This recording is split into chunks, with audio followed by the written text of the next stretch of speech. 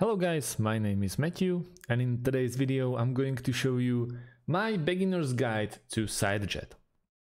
We will go through some pros and cons, I'll tell you more about this uh, beautiful beautiful engine and uh, then we'll try to compare the pricing plans if you'll get uh, for what you paid. So let's kick it away and let's start with uh, what's SiteJet. SiteJet is a high-performance uh, website building platform that combines CMS and the project management features. The system was initially developed to meet the need of professional web designers. It comes as a handy instrument to bring to life different customers' projects and collaborate with uh, customers in real time. Web developers can generate uh, feedback, team up with other specialists, promptly make uh, necessary corrections, and more within a single service. The platform brings a set of capabilities to create responsive web projects uh, with ease. It's a high performance CMS with robust web design uh, project management capabilities that lets web designers create phenomenal responsive websites fast, while also giving them a platform to efficiently service those uh, websites in. SiteJet helps to create spectacular websites in less time uh, to efficiently manage uh, processes and customer interaction, and to other service uh, these websites from all in one place. Well, what's uh, the most like pros of SiteJet? Why you should uh, pick this one? It's a multiple web design project management. Uh, we they have automatic uh, website generator, advanced editor with a simplified CMS, and uh, white label feature. Uh, two cons, I would go with it's more expensive compared to others. Uh, the lack of widgets and add-ons, no uh, marketplace, and uh, limited professional uh, plan features that we will cover in, uh, in pricing a bit later. So let's go and uh, jump in into, into SiteJet. As you can see, I already created my account and created my first website. Don't worry, it's so easy. Uh, you won't be even, you, you won't need tutorial, but I'll show you you just click on website, which is in the middle on the right uh, of your screen. Click on create, create website, and let's go with tutorials for everyone, for example, and you just press add. Now we have to pick the template or we can uh, pick the template or choose it later. It's completely up to you and it's very, very easy. So let's go with something not that busy. Let's go with uh, Kyoto, like a food blogger website. You can uh, check the preview, you can see the about, services. If you're into food business, there's a menu that you can cover. And uh, let's say you are a food blogger or you own a restaurant, so we are going to choose this one. We need to give it a time to basically process uh, all the features of this template. And we see that we just created this template uh, or this website successfully.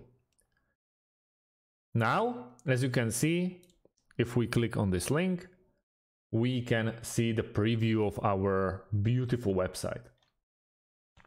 But you can do it the same, and I'll show you how.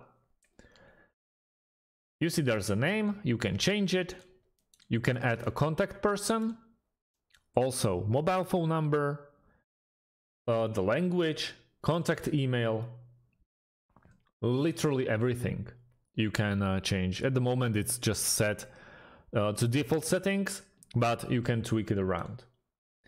The CMS part comes uh, in the overview where you can uh, add as many people as your team needs.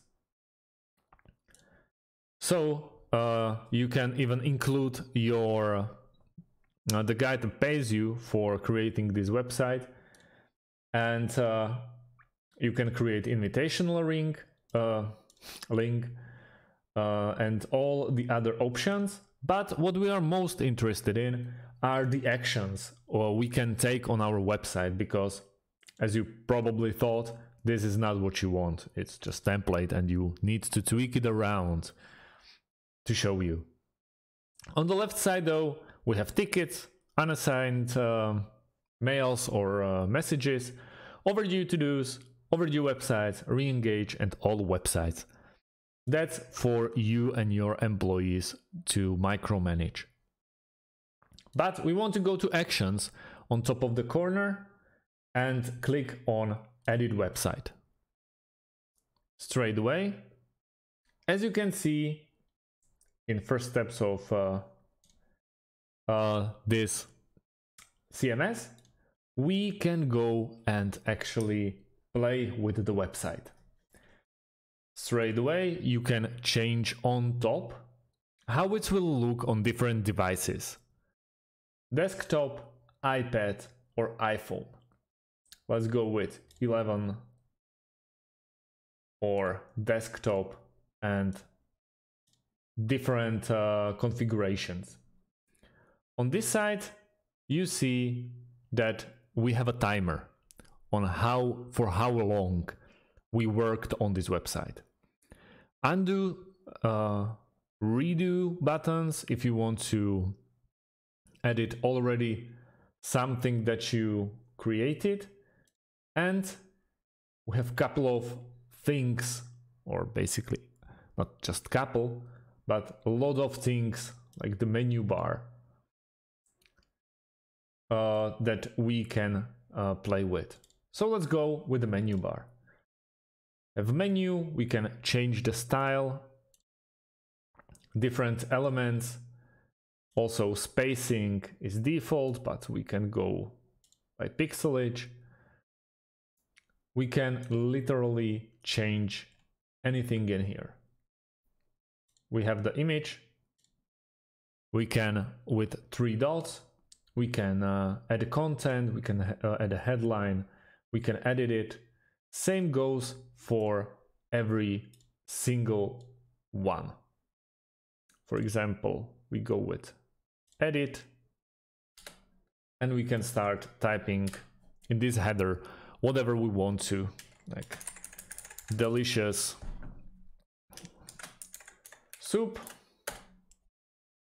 then we can even add a url then we can uh, give there a company or name or street whatever we can underscore it and if we are uh, okay, we just confirm it.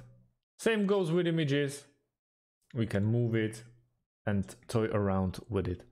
It's beautiful way how we can create our own website. Now, into edit button, we can save it, save all, and so on. Uh, then design with a theme we can add colors, we can remove the colors, we can uh, play around with the fonts, pages, also content.